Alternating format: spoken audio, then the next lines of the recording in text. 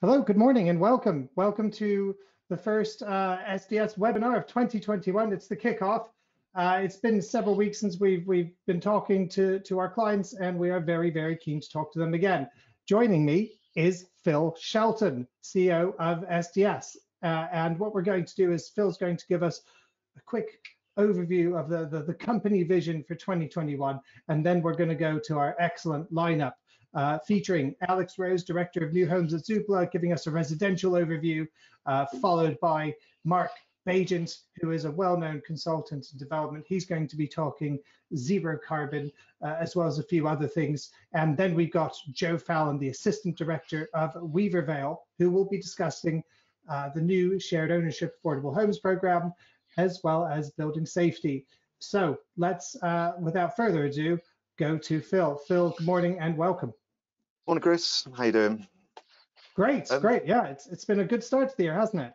It has, yeah. Um, it's it's been a very strange last ten months or so, isn't it? But uh, it's certainly been no less busy. I think for everyone that we speak to is equally just as manic, if not less, because they've got time to sit and have lots of meetings rather than travelling around all over the place as well. But uh, we've um, at SDS we've been doing quite a lot. Um, it was interesting. I was reflecting this morning briefly that it's been 20 years now. I've been working at SDS, and uh, there's been quite a few technology changes, shall we say, over that time, um, from Excel to things like Profile LS to the cloud versions of software like HomeMatch. And in terms of where we're going as a business, you know, we're really keen, obviously, to try and make things as fast and as simple and easy as possible. And so we reach the limitations of what we can do with software in its current format. So we're busy working on transferring all of our software to cloud-based software as a service. What that means is you don't need to worry about your IT departments anymore. You can just log straight on and it will give you a lot more scope and flexibility to kind of meet the needs of housing associations, local authorities, everyone who's developing social housing, um, so we can get more built as quickly as possible. Everyone's asking us about the cloud, Phil, and it is going to be very important for the company ongoing, isn't it? Yes, yeah, it's, it's everything will move across to it um, and be a lot more integrated when we're there as well. It's a project that's been ongoing probably for the last five years in terms of scoping, specifications, sort of uh, technology testing, all sorts of things we've been working on. And we're now actually, um, it's kind of like getting through a planning permission process. We've been doing that for a long time and now we're actually getting to build something. So we're busy doing that now and uh, we'll be sort of being able to show people that later in the year, what's how it's coming along. Um, but I mean, we're probably a year to a year, two and a half at the most away from having something fully finished. Um, hopefully sooner than that, but uh, yeah, we're uh, that's quite exciting, and hopefully we'll give people something that's really useful and kind of uh, much more flexible um, in what they can do with it and where they can work with it as well. Well, we will be looking at early adopters to start out, and not everyone is suitable to be yep. an early adopter. You have to have some patience. Uh, you will get a better price to begin with that will lock in. That's kind of what we're doing on HomeMatch. Yeah, no, we've we've had a few people, as I say, absolutely, they were kind of keen to have a look and feed into it. And as soon as we're at a position where we can show you something, which won't be too much longer now, hopefully, then we'll be doing that. We'll be coming out to you and say, look, this is how you could you can actually see how it's coming together, and so you can see and feedback into that. And we're happy to have any any feedback and uh, discussions with people about that. Would be fantastic. Well, I would love to show our our clients and our audience some of the pictures because it looks like on a visual level, it is the most impressive user interface I've seen uh, mm-hmm. in, in, from the company.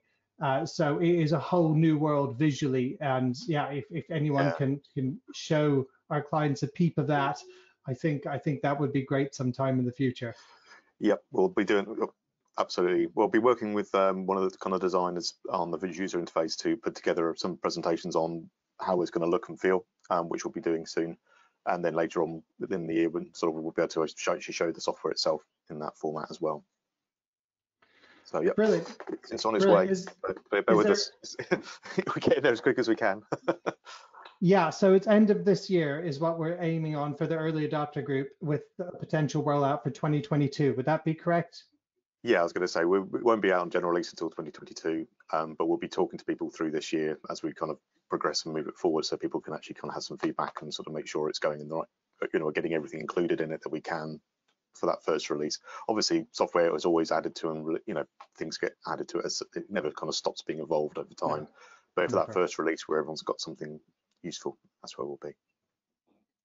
Brilliant. Well, it's uh, 10.05. Thank you so much, Phil. Are going to That's all right. now, uh, we'll see you at the end in the panel uh, discussion. And uh, please, everyone, direct your questions. We'll be here to talk. In the meantime, let's go to Alex. And Alex, I am just going to make you presenter. And Good morning, everyone. there you go. Christopher, can you see my? Uh, can you see I my screen? can. I can. Brilliant.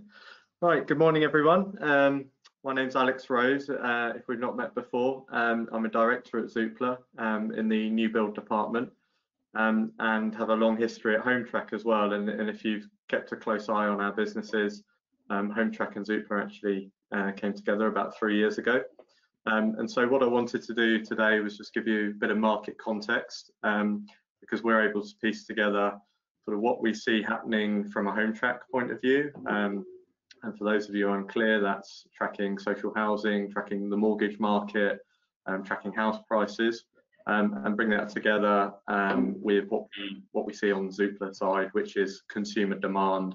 Uh, what what are people's search habits and behaviours on our website? How are they interacting with content? So, just want to give you an overview of um, I guess what we what we saw in 2020 um, and how that's um, carrying through into 2021.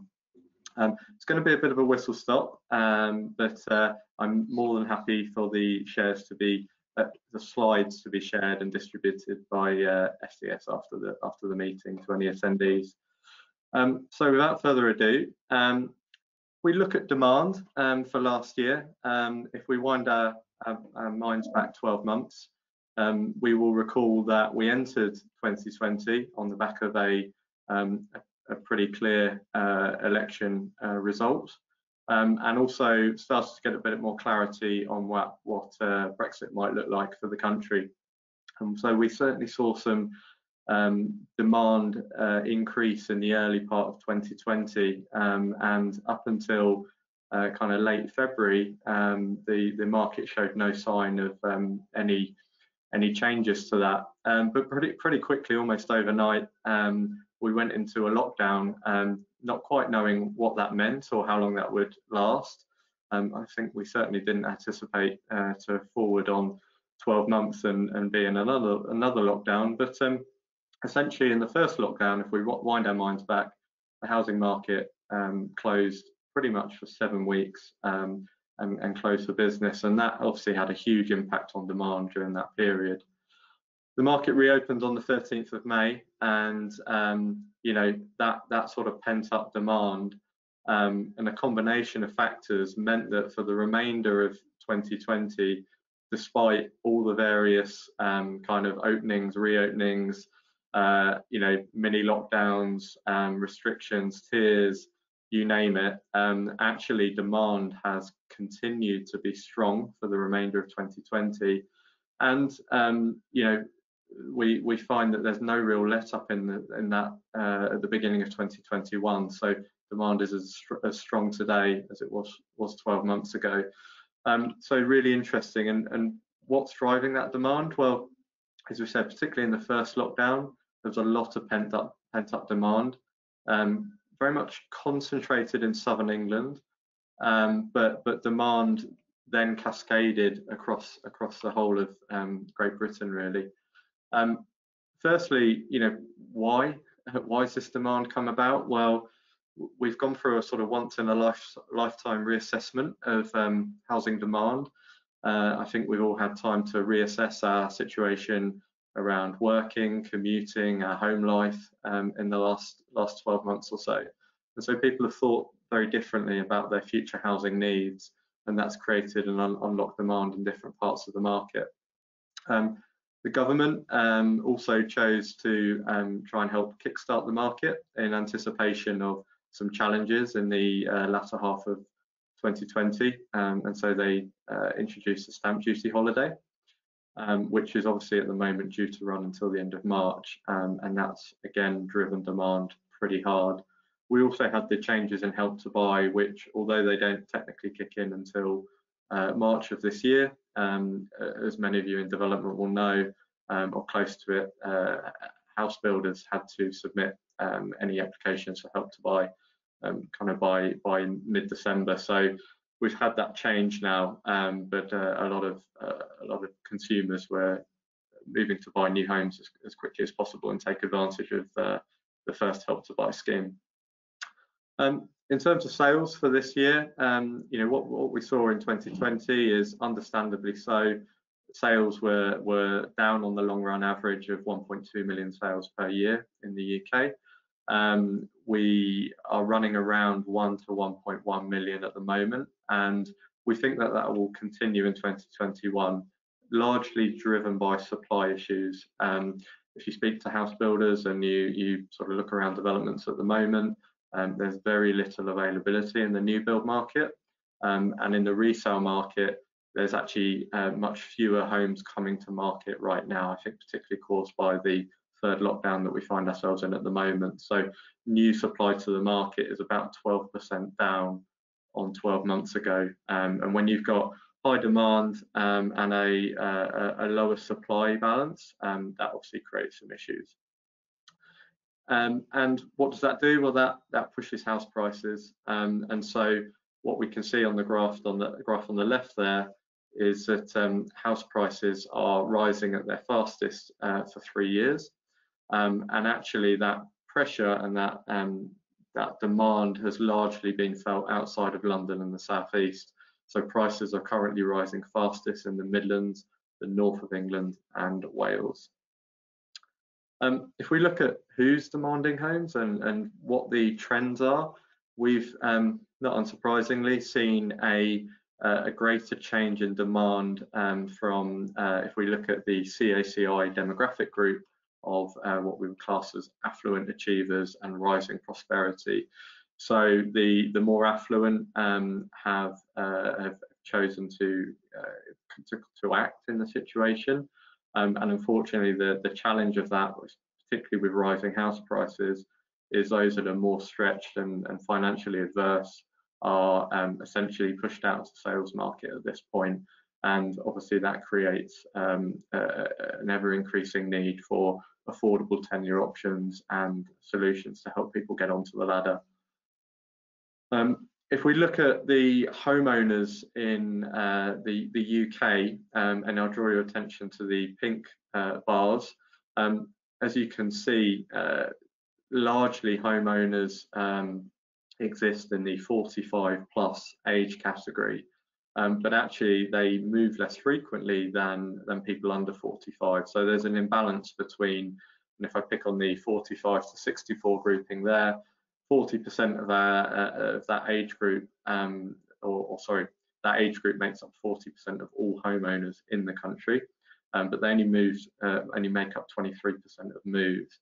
And we think that there will be more moves in those um, older age groupings for a number of reasons. I mean, um, partly because of the vac vaccination programs, um, particularly for the 65s and over, um, may allow them to move sooner um, but also allow them to perhaps reassess their, their, lifestyle and their position. They may choose to unlock equity, um, either for themselves or for a uh, for dependents and, and, for their children, uh, so-called bank of mum and dad.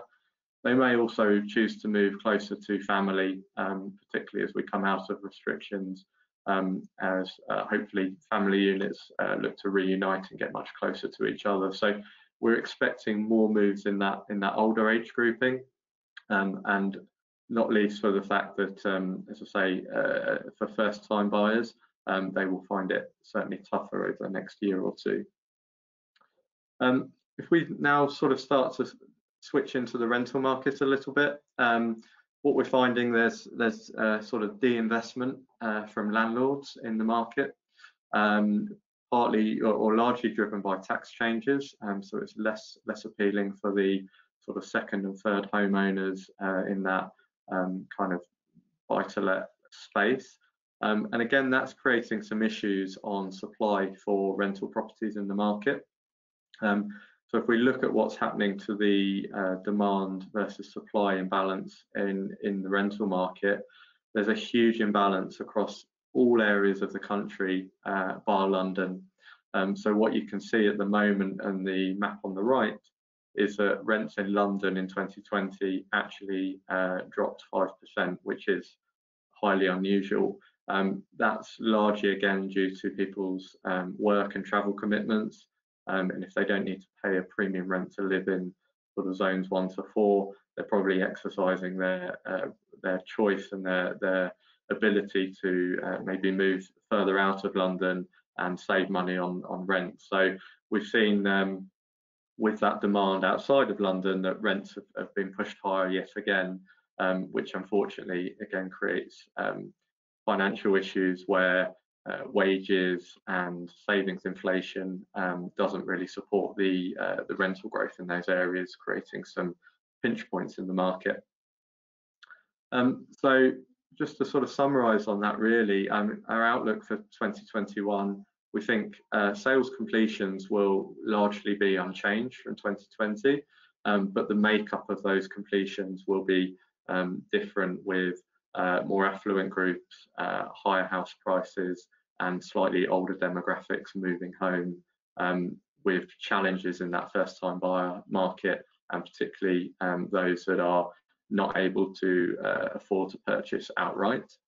Um, house price growth is currently running around 5%, that will slow this year um, in our view, um, but it will it will still remain in the positive, um, slowing to around one percent by the end of end of year, subject to any material changes in our circumstances.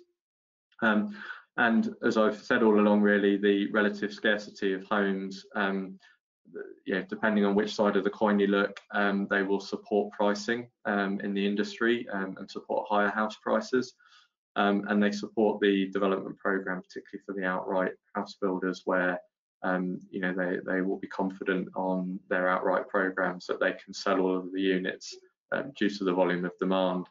Um, and as I say, I think this this all plays into a um, you know a, a, much stronger requirement for um, a flexible range of options across all areas of the market based on tenure and affordability programs.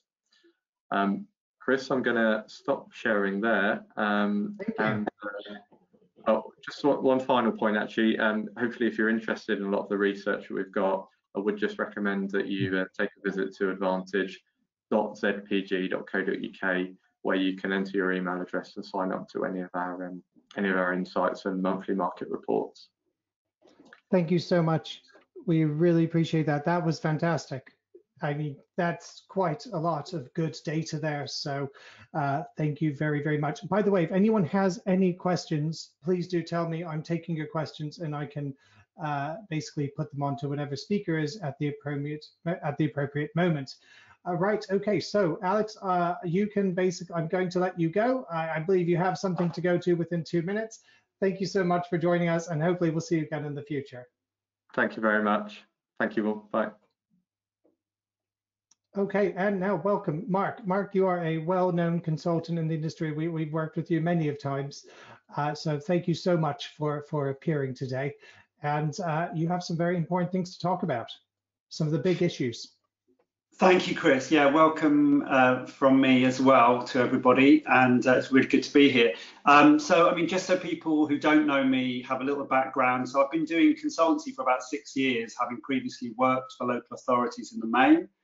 And most of my consultancy work has been with local authorities, setting up local housing companies, doing interim management uh, at senior levels, uh, mostly around development, uh, but also around uh, regeneration and the, the wider housing uh, investment piece. So for me, the, the key issues at the moment are around getting the balance right between different aspects of capital investment. And I think um, if I look back over the last five years, there's been a lot of emphasis on building capacity in local authorities in particular to do new build development. And um, I think from a political point of view, from the, the views of elected members, and also from the point of view uh, of board members of housing associations and so on, um, you often see that the new build side of things uh, is, is seen as more exciting, is it's seen as the area to really make the big achievements and, and, uh, and demonstrate what your organization is about in terms of the numbers that you drive through. Um, I think that is really having to be rethought now. I think in the light of um, the Grenfell Tower fire and uh, now the new building safety regulations that are on their way through Parliament, the uh, emphasis now on the existing stock is really coming back into prominence. And you see large uh, housing associations, for example, who are putting huge amounts of money into um, bringing their buildings up to safety standards. And um, so that as a, as a counterweight really to all of the money going into new build, when you look at it from the overall pot of money that you've got to invest in housing, uh, getting that balance right is, is quite a challenge. And then on top of that, coming up, if you like, in, in third place behind, but really accelerating is the zero carbon agenda. And um, so when I look at it, I see a, a, a web of, of interrelationships between these different investment choices. And of course, the smart person is going to try and tick all those boxes and make all those things happen. But there really are trade-offs. There appears there appear to be trade-offs, and there and there really are trade-offs, and it's a question of working those through. So, you know, for example, we, we're interested interested in the uh, quality of new buildings. We're in, interested in building safety. We're interested in in maximising efficiency in buildings, uh, but we also want to get the numbers through quickly. So, how do you how do you make that work when you're managing a particular development scheme or development program?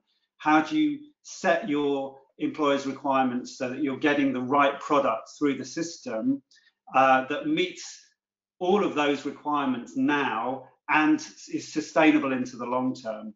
Uh, one of the issues with zero carbon that I'd be really interested to hear uh, people's thoughts about is around um, is the technology ready now to actually roll that out in a way that when we look back in 10 years or 15 years time we'll say yes we made the right choices. We've rolled out the right technology in our new build and it's and it's good for the long term. Or are we going to invest in something now and then in 10 years time there'll be some new technology and then we start retrofitting all of this new build uh, or, or, saying well if only we'd waited a little bit we could have done a better job.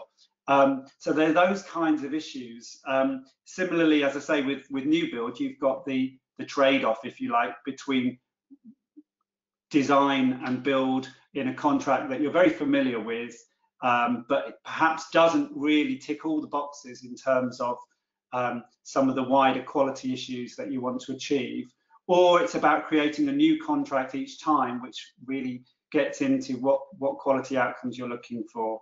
Um, so those those are some of the things that I think um, people are probably struggling with, and I think those those debates are really important that we work through as a sector and as an industry, uh, so that that learning is spread. I think the other key thing to talk about is, is capacity, is training, is expertise. Because as I say, you've got these different things going on. You've got the building safety agenda, you've got the zero carbon agenda, you've got the new build uh, capacity. And how do we make sure we've got enough qualified and, and uh, expert staff to actually give our organizations the capacity to, to deliver on these things? And my concern is that there are people being um, poached and people being um, you know pulled in different directions because of, we all need more capacity to deliver all these things. You've got a new regulator coming into being for building safety. Where are they getting all their experts from? My fear is they're taking the best practitioners out of the front mm. line to become the regulators. And there's always that difficulty. Um, we actually need to keep the expertise at the front line. Um, the last thing I wanted to cover was uh, the, the, social housing white paper. Uh, with, there's a lot of detail in there, but for me, the, the main drive of that white paper is around involving our residents much more closely in how we deliver all of these aspects. And I think, again, uh, in the past, a lot of resident involvement has been limited to um, local housing management issues, uh, maybe how the repairs service is working but actually getting residents involved in fundamentals around building safety and design and the procurement of new build. Um, these are things that I think we really need as an industry to do better on. So I'd be really interested again to hear people's thoughts about that. Um, I think probably I've covered the key things I wanted to cover and I'm really happy to, to join in the discussion. You, you have, Mark. Thank you so much. And let's go to Joanne. Good morning to, to everyone joining us. It's it's a pleasure to be here, and thanks so much to, to Alex and Mark for what's been um, a, a really useful start there in terms of highlighting some of the, the key challenges that um, we're, we're, all absolutely facing this year. Um, so I just wanted to, to kind of expand on that, I suppose, a little bit. I'm really mindful that these challenges will will impact us all um, in, in, quite different ways depending on our, our, organisations, where we are, and so on. So, hopefully, by, by sharing my perspective, we can open this up to to a wider conversation. So I'm just going to start by telling you a little bit about Weaver Vale Housing Trust so you understand where we're coming from. Um, we're based in Cheshire and Warrington. Um, we're a, a, an LSVT organisation that owns just over 6,000 homes. We're actually quite new to development and sales. This is the, the third year uh, of our development programme. Um, we'll be looking to build about 150 homes a year moving forward, so we probably are the, the smaller end of the spectrum. And we are one of the founding members of JV North. So for those of you who, who don't know JV North, we're a Homes England consortium and a procurement consortium um, based primarily in the northwest of England who build around um, four homes um, a day. I just wanted to, to, briefly touch on the Affordable Homes programme. Um, obviously, we were all waiting the announcement around the new programme back in September, I think it was, with, with bated breath. And I think, you know, uh, to start with a big positive, you know, 12 billion pounds is a lot of money. And, you know, for, for, for me, I see that representing a huge opportunity for the sector. Um, I appreciate my colleagues in London might have, might have a slightly different view on that though. Um, but obviously a few challenges and, and a, you know a couple of curveballs in there as well. Um, I'm just going to try and rattle through some of those. I, I think for me, um, obviously we're not quite back to kind of where we were under a Cameron government, but this government have made it abundantly clear that home ownership is an absolute priority for them. Um, and that feels like quite a challenging moment for me for, for government to be setting their stall out in that regard, given um, what we're going through at the moment with COVID, Brexit, um, and, and you know whether that, that is the right balance in terms of, of 50% of that programme our program is about 30% shared ownership um, at present. So some of the conversations we're having internally are, you know, do, do, we look to increase that? Does that feel like the right time to be doing it? And I, would really welcome views on that um, when we open this, this up to debate. Um, we've also had um, the, the, reforms to shared ownership, and obviously we're, we're, still waiting for the outcome of the technical consultation on that. Um, I won't go through uh, the detail of that um, because I'm, I'm, sure most of the people on the call today will be aware of that, obviously quite wide ranging and, and placing more risk back, back with the landlord um, in terms of some of those reforms proposed. Um, so again, you know, we're doing our modelling on that insofar as we're able to at the moment and, and having conversations as to whether we think that impacts um, the, the level of home ownership that we will be looking to deliver. And then obviously right to shared ownership as well, um, which is, I suppose, a great unknown. Um, our gut reaction has been to, to question whether the, the, level of take up will be that great, um, given the lack of discount, given what we saw with, with an old, um, the old social home buy program, but um, only time will tell. Um, I think our, our assumptions will probably relatively minimal around the take up um, um, to start with, but it's something we're going to have to, to keep under close review. So I just wanted to touch on, on the proposed planning reforms. Um, I've tried to kind of summarise some of the biggest reforms um, since World War II on one slide, which is um, a bit of a challenge. I'm, I'm just going to focus because of time on, on some of those short-term issues um, that I'm sure we'll all be talking about and, and certainly seeing in the press. Um, I think for, for us, the short-term provision does give us um, the short-term um, reforms, sorry, do give us some challenges um, around um, that the supply across our operating areas um, in terms of you know the, raising the threshold above which developers must make those affordable housing contributions. And obviously the NHF have set out that that could have an impact on supply of up to 20%. I think we're particularly concerned about that in some of our rural areas. And, and we also have ongoing relationships with some SMEs who actually deliver us really high quality products um, in, in some of our locations. And they may not be required to do that moving forward if that that threshold is raised from 10 to kind of 40 or 50 homes. Um, in terms of first homes, obviously there's there's a way to go on um, the first homes agenda, and it will be interesting to see what lenders um, say around this. But for us, I think there's definitely a concern around the impact on supply of, of homes for rent, and particularly um, shared ownership, with 25% of, of homes coming through planning gain being for shared ownership moving forwards. Um, and you know, looking at some of the work Savills have done um, around first homes, you know is that kind of diverting um, supply away from from the communities and, and the people who really need it my, you know and I suspect that that is the case um, just in terms of my second point now, is it competition for shared ownership? I think some of the work Savills have done have shown that you know that there probably are some overlaps as there have been with with um, Help to Buy, but on the whole, um, shared ownership still remains that more affordable product, and obviously we have those flexibilities around that first tranche share. So I'm hoping that that won't be too much of an issue, but I do think that the impact on supply is the bigger risk there.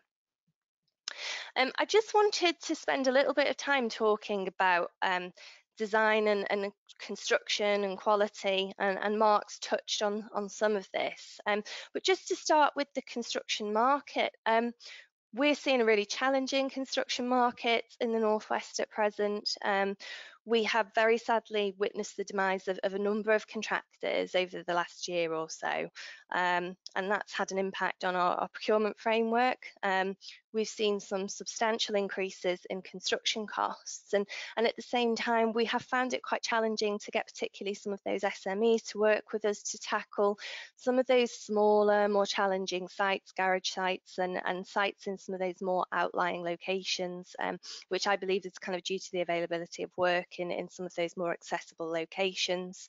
Um, I have to say, I do have a fair bit of sympathy with contractors, which is, is probably an unusual thing for me to say in fairness, but you know that the impact of COVID-19 on them has been significant despite the government allowing construction to continue. Um, and you know I understand insurance premiums for them in some instances have gone through the roof and that and that's being compounded by some of the um, supply chain and labour issues of, of, which we I'm sure we all talk about regularly. So to some extent it is no surprise we're seeing what we're seeing in that respect but it does obviously put quite a lot of pressure on scheme viability. Um, and then I, I, couldn't not mention Brexit but you know obviously that I think that, that it stands to have a further impact and compound some of those issues we're, we're already seeing moving forward forward. Um, in terms of that design and quality, you know, Mark has touched on the, the net zero agenda and the building safety. Um, you know, absolutely, you know, the, the right direction of travel, but comes at a cost. And as Mark said, you know, there's going to be some difficult decisions to make around um, uh, development programs and, you know, in terms of new, the cost of new supply, but also set in the context of um, addressing our existing stock moving forward. Um, you know, for us, we've got, you know, a real commitment to um, continuing to improve the, the, design and quality of our homes and um, to make sure that they are truly sustainable moving forward, that we're not retrofitting in five or 10 years time. Um, and I guess one of the other challenges we, have got to help support that is scaling up of, of modern methods of construction and starting to realise some of those efficiencies required for, for this approach to work at its best. And so, so just to conclude, really, how, how are we responding to some of those challenges? Um, and I just wanted to very briefly touch on, on some of um, my thoughts on that before we hand over and have the, the panel discussion. Just going back to the new shared ownership product, obviously we are in a bit of limbo at the moment until we have those final details. Um, but I think for me, you know, soon we will we'll know where we stand with that. We'll be able to conclude our, our modelling and business planning but we've got to start looking forward then. And I think one of the biggest risks for me lies in that successful transition and implementation of the product within our organisations and, and with our customers and being extremely clear about what this new product looks like and, and to avoid um, miscommunication and perhaps overinflating customer expectations, particularly around um, those repair and maintenance responsibilities. Um, just on, on that second point there, um, going, you know, as an organisation kind of relatively new to development at the moment, Weaver Vale's only delivering homes for, for rent and, and, shared ownership, and we have an aspiration to, to further diversify that. Um, we're reviewing the, the timing of that realising that aspiration at the moment. Um, but we are looking at implementing um, kind of rent to buy and so on moving forward. Just touching back on on some of what Alex was saying around, you know, first time buyers now starting to be priced out of the market, and we are seeing an impact um, around the shared ownership market as well, and and that lender market starting to contract. So to to kind of spread our risk and and to make sure that we've got a range of offers and we're meeting the needs of people who are kind of being priced out of that market at this point in time. Um, we're also kind of just revisiting um, our sensitivity analyses and, and having a clear exit strategy for, for sales schemes and um, for land banks, which is something we always have, but it's it's never felt like a more important time to to just sense check that. And uh, we are absolutely seeing um, our executive and, and, board starting to give that more um, in, in-depth scrutiny as we present schemes for approval. Um, just in terms of, of, of, my third point there around understanding our markets, it sounds so ridiculously simple, but actually, you know, I think it's quite a challenge, um, particularly in the context of what Mark was saying around resources being quite stretched in our sector. You know, many of us are covering kind of really wide operating areas and, and also some very nuanced markets. So I don't think the importance of this can be overstated when it comes to making informed decisions around investments. Um, we spend a lot of time on that as part of our approval process, working with consultants consultants, local authorities, um, our neighbourhoods teams on the ground to build a really clear picture around supply and demand in an area. So, you know, we, we're confident we've got those really quality investment opportunities. Um, we are looking at diversifying the procurement of our schemes. I've, I've talked a little bit about my concern around um, the proposed planning reforms and impact on supply through planning gain and, and also that design and quality agenda. Um, I think, you know, we work with some great developers, but also sometimes quality and in particular the size of homes is perhaps not where we would like it to be. Um, so we're looking now at, at kind of controlling our own destiny a bit more um, by delivering sites from start to, to finish. Um, I don't think that is the, the solution. Obviously, we want, we need affordable homes coming through that planning gain process. And I think, you know, the solution for me is absolutely making sure, um, you know, we're all delivering um, really good quality homes across the sector, regardless of, of our background and our motivations. And hopefully that is the, something the government can kind of help push forward. And then finally, in terms of that contractor market, um, we're listening to our contractor and consultant partners about how we, we might be able to do things differently. And in the context of our risk appetite, we acknowledge that it's a really challenging time. Um, as JV North, we'll be reprocuring our, our framework this year. So through that, we're having a lot of those conversations. Um, you know, I don't have any kind of pearls of wisdom to share right now, but you know, it, it's maybe one for a future a future session. Um, and with that, that concludes my presentation. So I'm going to hand back to Chris and hopefully we, we can open that up into some questions. Thank you. Thank you, Joe. That was fantastic. I really appreciate that. Uh, so I'm calling back uh, Mark and uh, Phil. And okay. So a lot, a lot to think about there. A lot, you touched on Brexit, Joe. So the last time we spoke about Brexit, no one was bothered about Brexit. It was all about COVID. Uh, and again, I, I, sort of had a bunch of sort of blank faces when I said Brexit. No one really was particularly bothered. Why, why do you think that was? Um, I, well, I think things have kind of overtaken a little bit, haven't they, in terms of, of COVID and some of the changes we've seen this year.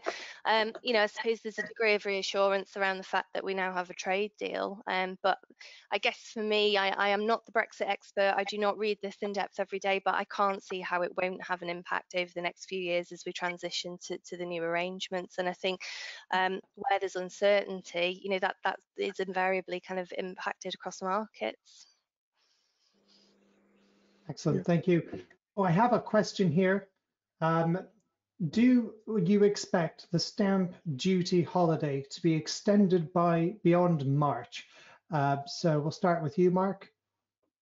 I think not. I mean, if you look at the graphs that um, Alex showed us at the beginning, I mean, if demand is is as strong as it as it appears to be and is increasing, then um, from a government point of view, I'm not sure that they will feel the need to underpin the market for a continued period. Um, I think that the issue is, you know, keeping an eye on that as you get up to uh, February, March time. And if things start dipping uh, as a result of the, the ongoing lockdown, depending on how, it, how long it goes for, they might reconsider that. But I think for the moment, they're not going to extend it. Okay. And is it something, I mean, it's only really benefiting the people on the ladder, isn't it? This is like the net result of the stamp duty uh, decrease. It's only people who are actually on the on the market who who are moving around, and the first-time buyers are still in the same place they were. I mean, it's interesting if you look at it from the buy-to-let point of view, um, because obviously buy-to-let has decreased substantially in terms of tax efficiency and so on. But um, I mean, I'm working with local authorities who are out who are out there buying properties to use as temporary accommodation for homeless families, and now is a great time for them to buy because the, because of the stamp duty holiday. So, uh, uh for example, I was working with Haringey, uh, set up a company for them to to deliver temporary accommodation, and um, they've been doing really really good numbers, getting getting properties purchased uh, over the last few months. I wouldn't be entirely surprised if they did extend it a little bit further than March, only because mm. of hmm. the impact of increasing mobility in the housing market. Obviously, the more people are moving, the more there is available properties for people to move and buy, and that sort of shifts everyone along, which ultimately benefits the bottom end of the market as well, doesn't it, in the sense of the first-time buyers coming in. But given the house price um, inflation, possibly not. Um, I was talking to somebody, an economics guy recently, and saying at the moment, you know, you've got all this money being pumped into the uh, economy because of COVID, which is not sharp, not far off where we were with the debt from World War II. So it's a you know huge amount of money we'd be paying off for the next 50 years or so. Um, but you're not seeing any inflation, retail price inflation, not seeing CPI is really low, which is counterintuitive when you pump loads of money into the economy because you would expect inflation then to rise. But what you are seeing is inflation on assets increasing. And so you think if you go forward another year or so, once you know you've got vaccinations in place and COVID's kind of relaxed and people are getting back to normal, you're going to have all these people in the retail sector and the hospitality sector going back into business, trying to recoup some losses, putting all their prices up, and then suddenly you'll see this uplift in inflation in on CPI and retail RPI as well, I think, um, which yeah. will make life even more difficult for people next year because it will catch up. Whereas this year, I think, as you say, it's it, it, I think it's, it's a calm before the storm, maybe um, for lots of people in terms of affordability. Sorry to be depressing, but that's it's best as yet to come. Uh, okay. I think we're in for a little while yet of, of uh, support. I think. Thank, thank you so much, Phil. Uh, the questions are pouring in now. Let's uh, let's move on. I wonder if you could share what square meter cost you are experiencing. Um, I mean, we are starting to see. I mean, there's still a range up in the northwest, um, but I think that probably the lowest cost we're seeing now is is north of 1600 pounds a square meter. Um, it, there's a massive variation depending on the, size and nature of the site. Um, but I mean we're seeing costs of kind of 1800 upwards for some more of those kind of challenging complicated sites now um, which is which is high for the northwest. And you know that that's represented quite a significant jump in the last couple of years. Mark yeah, I mean, I'm mostly working in London, so obviously the prices are a bit higher than that. Um, so e easily looking at two and a half k. Yeah. Okay, thank you, Mark. Mm-hmm. Um, Phil, any any anything you're seeing on some of the appraisals you've been having a look at? Yeah, all of that. Everything going up, and that kind that kind of range as well on across the country as well. Yeah, easily dropped yeah. from yeah 1500 to 3000. That kind of variation, I'd say. Okay.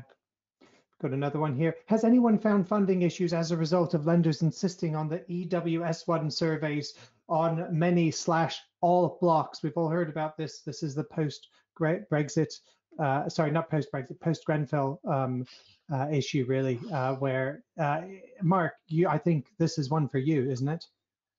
Well, I certainly know uh, that it's had a massive impact. In terms of the specific question about lenders, um, what what what was the question asking? Uh, have lenders not has, lent?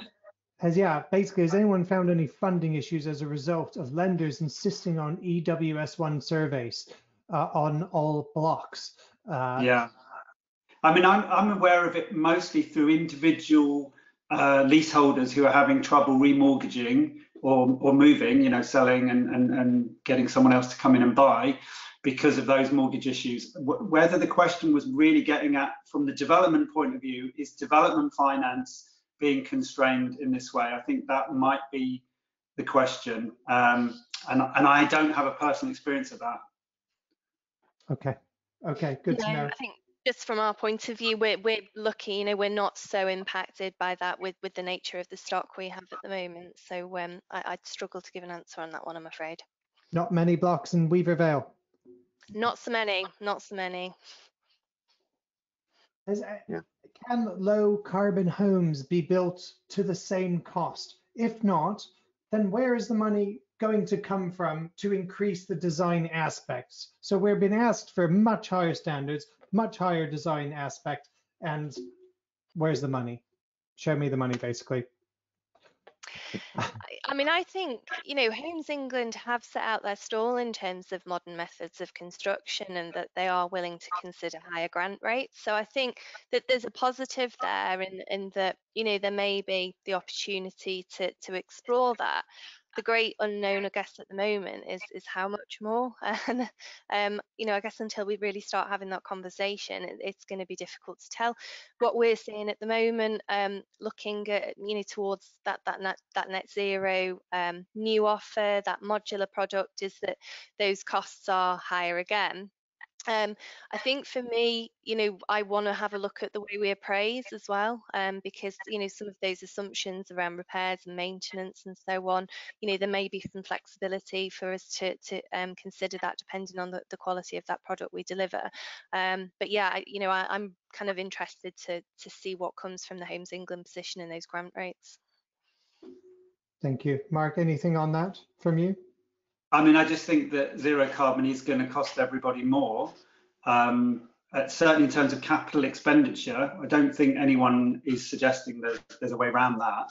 Um, and you know, the, the issue is the, the big picture in terms of whole life costing and, and the externalities, to use the economic term, about the impact in the wider market. So the fact is our residents are going to have lower bills to pay if we invest in insulating their homes. Um, they're the beneficiaries and you know we as a landlord aren't. Um, so you know we have to make a commitment to deliver that for them.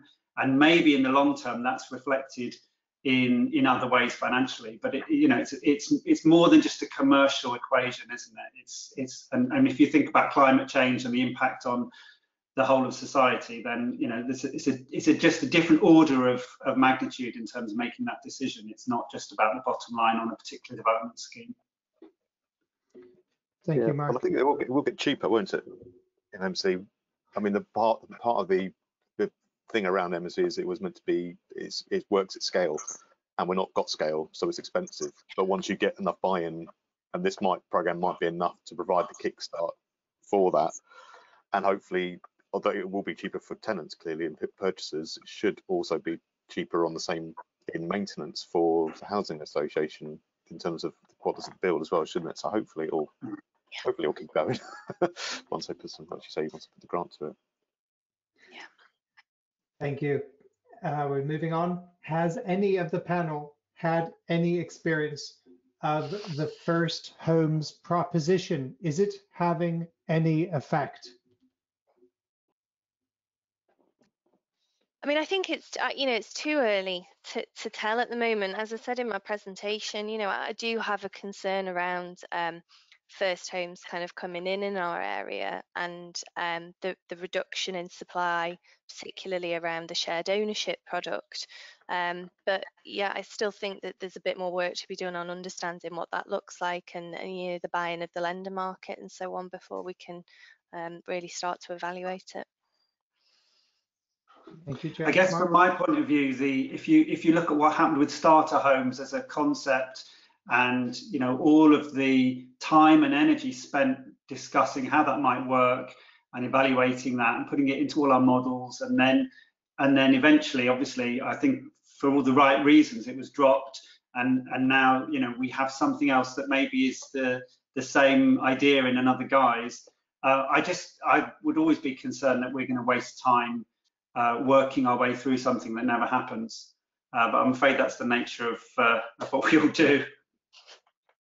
Yeah.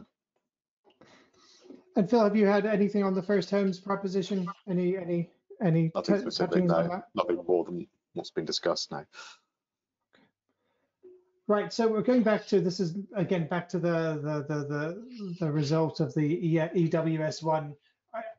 Mark, is, is there, as far as you're aware, have the, has this affected the, the flat sales market?